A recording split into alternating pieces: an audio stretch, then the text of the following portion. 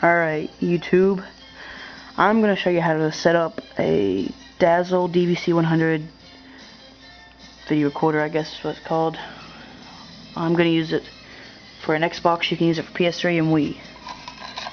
Looks like this. It's got these in front. Got your left audio, right audio, S video, and video.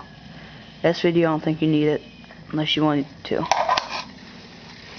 You're gonna need three of these. Look like this. They're Y splitters. You're gonna need three of those because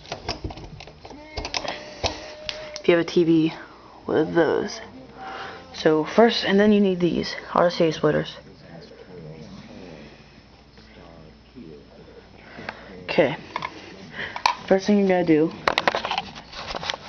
take your dazzle, plug a Y splitter into the yellow video, take one Xbox cable, plug it into one of those, and then take one of the RCA cable, the yellow RCA cable, and plug it into there.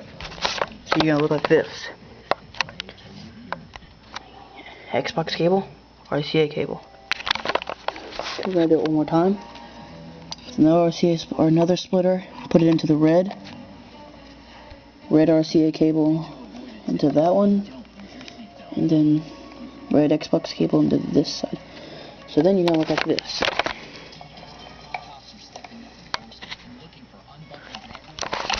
And you're gonna take your last one, put it in the white. Take the white RCA splitter, uh, white RCA cable, plug it into there, and the white Xbox cable, plug it in here. So you're gonna look like this. Got your Xbox cables plugged into one of each. RCA splitters plugged in there. Go to the other end of the RCA's. Take them. Go to your TV. It's kind of hard to see on mine. But you're gonna plug them into the color coordinated slots. Yellow and the yellow white, white, and red, and the red. Look like that. Cable comes down, comes here, goes into the dazzle, and then the Xbox cable's here. Then you have USB. You're gonna take that, go up to your computer, plug it into one of the USB ports. You have this. You're gonna want to do this first. This is the pinnacle. You wanted to put this on first just say like studios and it would connect your video device. Press OK. Set up capture source. Let it load for a second.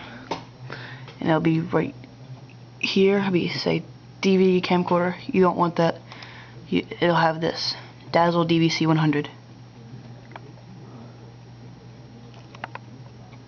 Click on that. Comes up on both of them. Press OK. Then go to the Xbox, turn the Xbox on.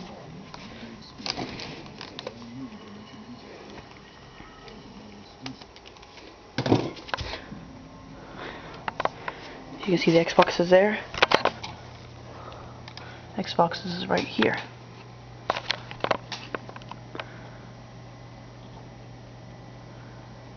Loads. You can play off of this it's the preview screen, but it's one or two seconds laggy, like behind of the actual Xbox. So that's why you need the splitters and all that. You can see you got my Spotlight, my Xbox, same thing right there. So I hope that helped. If you have any questions, just send me a message on YouTube or whatever. Comment, I don't really care.